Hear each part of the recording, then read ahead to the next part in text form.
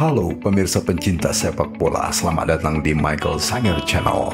Hari ini kami telah mengumpulkan beberapa berita terbaru dan terpercaya seputar La Liga, Copa del Rey, sepatu emas, Ballon d'Or, kabar transfer pemain dalam berita pilihan sepak bola hari ini. Terima kasih atas dukungan pemirsa dan subscriber buat channel ini ya.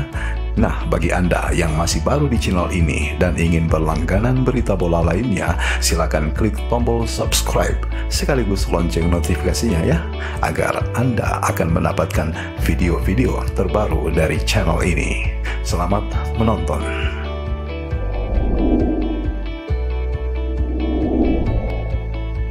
Berita pertama hari ini adalah Inilah alasannya mengapa Lionel Messi berpeluang meraih sepatu emas dan Ballon d'Or dibanding Robert Lewandowski. Dikabarkan oleh Tribuna.com bahwa berita kurang beruntung dialami Lewandowski. Sebaliknya, berita baik diperuntukkan buat Lionel Messi di penghujung sisa pertandingan-pertandingan musim ini. Seperti diketahui bahwa posisi dalam daftar 5 calon peraih sepatu emas Eropa teratas pada tanggal 30 hingga 31 Maret 2021 memang masih dipimpin sementara oleh Robert Lewandowski dari Bayern Munich dengan 70 poin dan 35 gol. Posisi ini diikuti oleh Lionel Messi, Barcelona dengan 46 poin dan 23 gol dan kemudian Cristiano Ronaldo dari Juventus dengan 46 poin dan 23 gol. Kemudian diikuti pula oleh Erling Haaland, Borussia Dortmund dengan 42 poin dan 21 gol dan Andre Silva, Eintracht Frankfurt dengan 42 poin dan 21 gol. Dikabarkan bahwa Robert Lewandowski akan absen selama sekitar empat minggu. Pasalnya striker Bayern Munich tersebut dikabarkan cedera setelah dikonfirmasikan oleh klubnya sendiri. Ini berarti bahwa striker Polandia itu kemungkinan bakal absen dalam tujuh pertandingan, lima di antaranya di Bundesliga untuk membela Bayern Munich antara 3 April hingga 24 April, termasuk pertandingan perempat final Liga Champions melawan Paris Saint-Germain. Sementara itu Lionel Messi masih memiliki kesempatan menciptakan gol-gol serta asis-asisnya sebab Messi masih akan memainkan empat pertandingan Liga untuk FC Barcelona dalam periode ini jika tidak ada halangan tentunya. Itulah sebabnya La Pulga dinilai sangat berpeluang memiliki kesempatan lebih dekat dengan sepatu emas serta Ballon d'Or.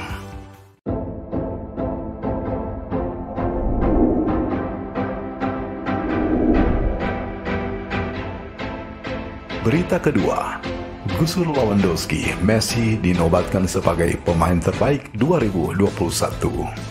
Dilansir dari Tribuna.com, meski tersingkir dari Liga Champions, Barcelona dalam 18 pertandingan tak terkalahkan di La Liga dan akan bermain di final Copa del Rey pada 17 April nanti.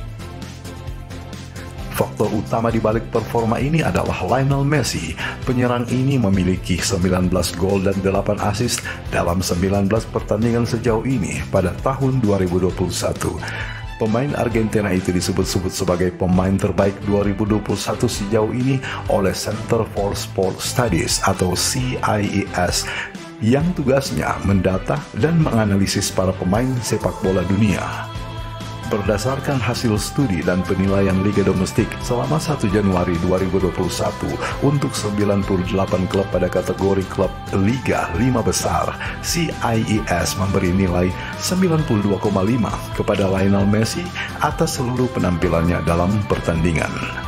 Nilai Messi ini melebihi Robert Lewandowski dari Bayern Munich dan Jorginho dari Chelsea yang masing-masing memiliki skor 89,5.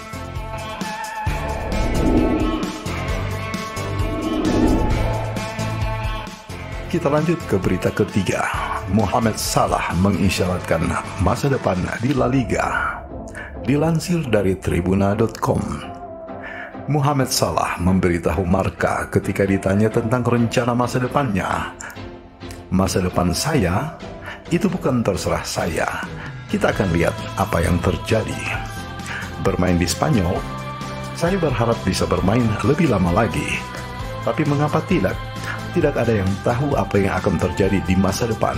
Jadi mungkin suatu hari nanti ya. Sang penyerang bergabung dengan Liverpool pada 2017 dan sejak itu ia secara konsisten menjadi salah satu penyerang terbaik dunia. Sementara Salah tidak mengisyaratkan bahwa dia akan meninggalkan The Reds musim panas ini. Jawabannya menunjukkan bahwa bermain di Spanyol bisa menjadi bagian dari rencana masa depannya. Dia tentu saja akan sangat disambut di sini. Namun sumber terpercaya Fabrizio Romano menambahkan bahwa Liverpool memiliki salah dalam rencana jangka panjang mereka.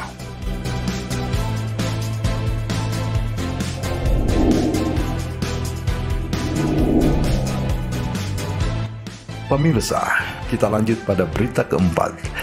Satu syarat ini akan membuat Lautaro Martinez sebagai alternatif Halan di Barcelona. Dilansir dari Tribuna.com, dikabarkan bahwa Lautaro Martinez berada dalam daftar transfer Barcelona sebagai alternatif jika tak sempat mendatangkan Erling Haaland, menurut Gerard Romero. Namun penyerang asal Argentina itu hanya bisa dikontrak melalui pertukaran pemain.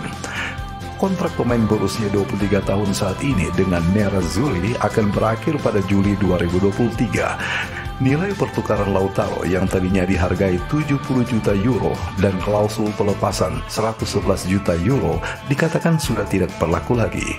Lautaro Martinez telah mengantongi 16 gol dan 6 assist untuk Inter Milan musim ini.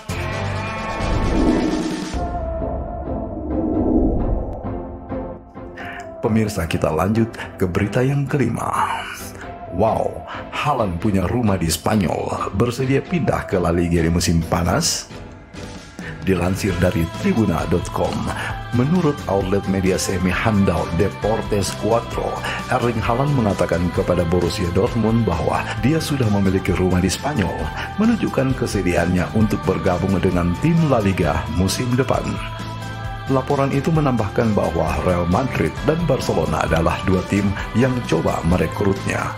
Menurut sumber tersebut, rumahnya berada di Marbella, tempat Haaland saat ini sedang menjalani camp pelatihan bersama timnas Norwegia. Kami harus menyebutkan bahwa Marbella jauh dari Barcelona.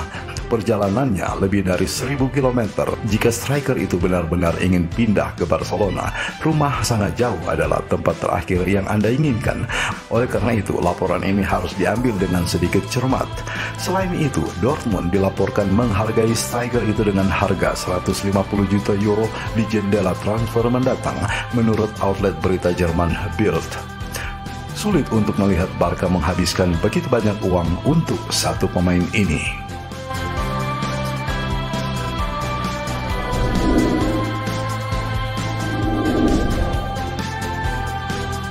Pemirsa, kita lanjut ke berita yang keenam. Grafik analisis gambar menunjukkan bagaimana tembakan Messi jaraknya berangsur-angsur menjauh dari gawang pada beberapa tahun terakhir. Peran Lionel Messi di Barcelona telah banyak mengalami perubahan selama bertahun-tahun dari menjadi penyerang utama hingga mengambil peran yang lebih dalam selama bertahun-tahun. Sang kapten pada dasarnya telah bermain dan unggul di hampir setiap posisi menyerang untuk membela klubnya. Grafik menarik ini memetakan lokasi tembakan Messi yang paling sering di La Liga selama bertahun-tahun. Anda dapat melihat perubahan dalam tembakan pemain Argentina itu seiring berjalannya waktu. Mari kita ulas peristiwa ini mulai dari musim 2014-2015 dan hingga sekarang. Perhatikan warna kemerahan pada grafik menunjukkan frekuensi bidikan Messi yang diambil dari lokasi tersebut. Di musim 2014-2015, jarak tembak median Messi berkisar pada jarak 10,61 meter. Kemudian di musim 2015-2016, jarak tembak median Messi berkisar pada jarak 12,12 meter. Selanjutnya di musim 2016-2017, jarak tembak median Messi berkisar pada jarak 12,85 meter. Di musim 2017-2018, jarak tembak median Messi berkisar pada jarak 12,90 meter. Di musim 2018-2019, jarak tembak Messi berkisar pada jarak 13,35 meter. Dan di musim 2019-2020, jarak tembak median Messi berkisar pada jarak 14,47 meter. Jadi, rentang musim 2014-2015 hingga 2019-2020, jarak rata-rata tembakan Messi ke gawang adalah 10,61 meter menjadi lebih jauh hingga 14,47 meter. Ini menunjukkan perubahan jarak semakin jauh setiap musim. Messi memiliki 42 gol dari luar kotak selama lima musim terakhir di La Liga. Ini adalah angka tertinggi dibandingkan pemain mana pun di lima liga top Eropa selama ini. Di bawah Messi, Harry Kane telah mengoleksi 17 gol yang tercipta dari luar kotak penalti. Walaupun capaian Kane sebagai peringkat kedua, tetap saja perbedaan jumlah gol antara Messi dan Kane tersebut bak gunung dan lembah. Sekian berita kali ini. Terima kasih sudah menyimak dan menonton. Saya Michael Sanger Channel. Mohon undur diri.